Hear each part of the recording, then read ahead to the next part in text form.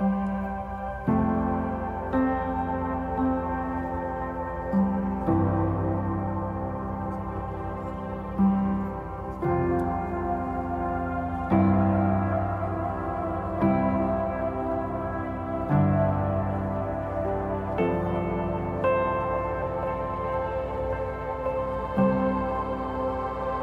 the believers were together in one place.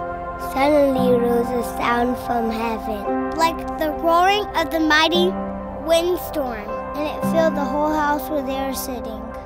Then what looked like flames or tongues of fire appeared and settled on each of them, and everyone, everyone present was filled, with the Holy, Holy Spirit. Spirit.